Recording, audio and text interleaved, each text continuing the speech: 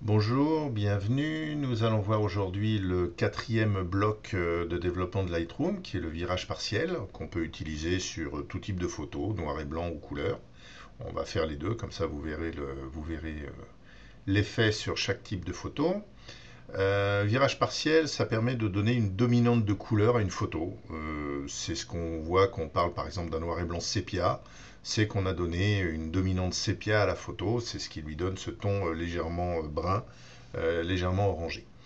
Donc ce bloc est composé de deux parties. La partie haute lumière, c'est la dominante de couleur qui va être affectée haute lumière.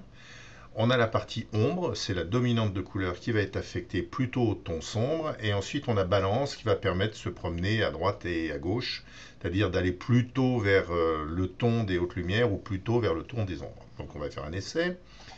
Euh, ici, vous avez des couleurs prédéfinies qui sont les couleurs habituelles de, virage partiel. On va choisir celle du milieu qui est un peu une sorte de sépia. Euh, donc là, j'étais dans la partie haute lumière. On voit que la partie haute lumière est devenue orange. Et on va faire la même chose sur les ombres. Voilà. Donc les ombres aussi deviennent orange. Ici, on avait toute une partie d'ombre.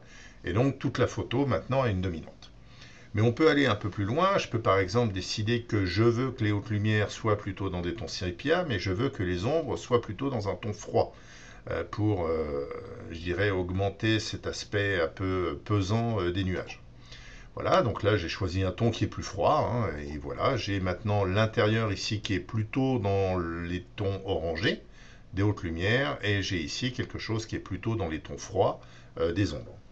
Vous pouvez ensuite avec balance vous promener, donc c'est-à-dire que vous pouvez soit dire je veux aller plutôt vers le ton des ombres, ou je veux aller plutôt vers le ton des hautes lumières. ça permet comme ça de régler un peu euh, la, séparation des deux et décider comment euh, vous voulez faire ça. Vous avez ensuite pour chaque euh, haute lumière ou ombre la couleur évidemment et la saturation. Euh, alors vous pouvez soit le régler avec le curseur ici, soit directement ici sur le bloc de sélection de couleurs. Hein. vous pouvez, euh, là je peux dire voilà, je veux quelque chose de beaucoup plus rouge et de très très saturé. Voilà, j'ai fait quelque chose d'affreux, mais c'est juste pour vous montrer. et vous pouvez réduire à nouveau, revenir là. Donc vous voyez, les curseurs, vous y accédez directement ici pareil pour les, pour les, tons, euh, soit en cliquant directement sur la couleur. Vous avez donc la même chose ici au niveau des ombres. Si vous voulez revenir à un réglage standard, vous double-cliquez sur haute lumière ou vous double-cliquez sur ombre et les curseurs vont revenir à zéro. Quelque chose à savoir euh, au niveau de Lightroom, ça c'est pratique. Il y a beaucoup de réglages comme ça, sans qu'on clique sur le nom du réglage, ça va remettre tous les curseurs à zéro. Euh, si on fait ça maintenant sur une photo couleur, donc là j'ai une photo, c'est une entrée de métro abandonnée à Paris.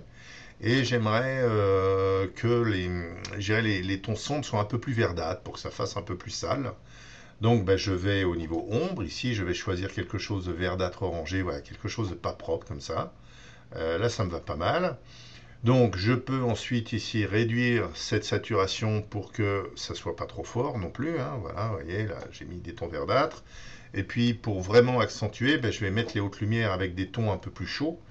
Euh, voilà, donc je vais choisir ici et je vais réduire un peu la saturation parce que là c'est un peu trop.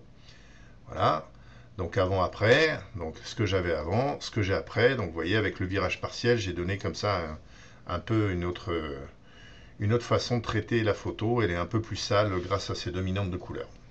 Voilà, c'est tout, à la prochaine.